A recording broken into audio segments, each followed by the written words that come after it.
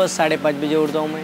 उसके बाद चाय बनाता हूँ बड़े बड़े ऑफिसों में जाता हूँ बड़े बड़े बिल्डिंगों में जाता बड़े बड़े लोगों से बात भी करता हूँ मुलाकात भी करती हूँ। मतलब क्या उन लोग से बात करने की मुझे थोड़ा हिचकिचाहट होती है कि मैं एक चाय वाला हो गया मैं कैसे बात करूँ उन लोग से?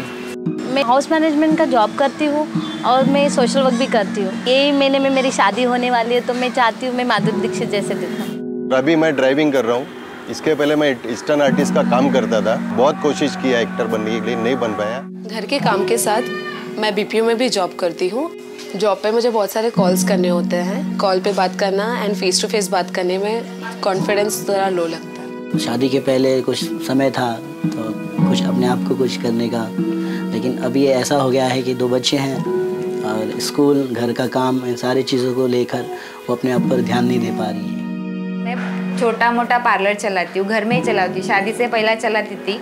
बाहर जाने के लिए मिला लेकिन मेरे बेबी की वजह से अभी मेरे को बाहर जाने के लिए नहीं मिलता है। तो मैं दूसरे को मतलब ब्यूटीफुल बनाती हूँ लेकिन खुद के ऊपर मेरा ध्यान ही नहीं जाता है।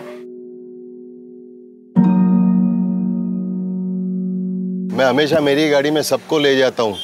आज कोई मुझे ले जा रहे हैं। पता नहीं कहाँ लेके जा रहे हैं। मैं थोड़ी सी नर्वस हूँ।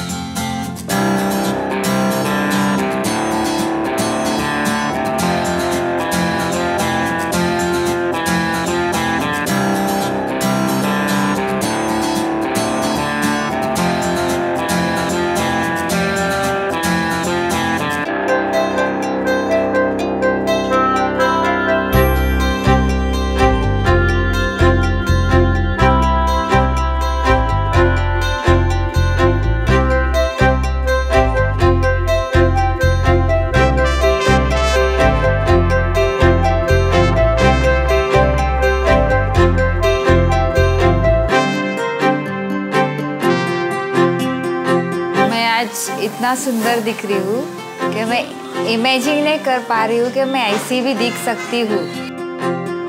इसके फेस पे तो एक बहुत अच्छी वाली स्माइल आ गई है। तो आज मुझे स्टार जैसा फीलिंग लग रहा है मुझे देखने के लिए दस लोग खड़े मुझे बहुत अच्छा लग रहा है। मेरे को आज इतना मैं हाथ देखा बिलीव नहीं हो रहा मेरे को इतनी अच्छी दिख रही है इतना अच्छा मेकअप करा है बहुत अच्छा लग रहा है। और ऐसा लग रहा नहीं मुझे कि मैं कल शादी करूँ मैं सोचता हूँ आज ही शादी कर लूँ।